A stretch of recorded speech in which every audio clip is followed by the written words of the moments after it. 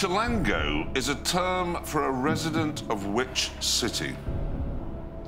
Buenos Aires, Rio de Janeiro, Mexico City, Havana. I was hoping only one of the options would be a South American one. And it'd be like France, London, and Doncaster. a Buenos Aires, Mexico City.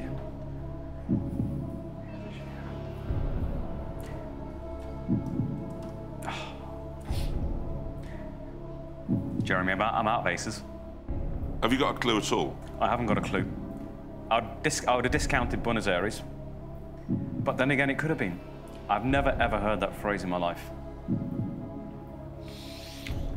And there's nobody to call. And there's nobody to call. You're on like your own out there. I would love to have a punt at it, but I am out of aces. Time to walk away. Gonna walk away. Gonna take the money. Final answer. Final answer.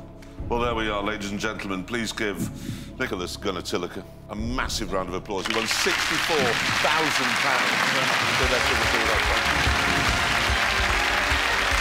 You're not going anywhere. You've got £64,000, but before we allow you to go, what would you have gone for? This is the bit that really hurts. Mexico City. Yeah. See, Buenos Aires, I have a different uh, term for people who live there after what happened to us in Argentina.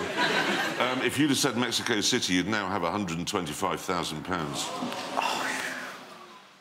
But it doesn't matter. You're going away Thank you. with £64,000. Ladies and gentlemen, Nicholas Gunatelica.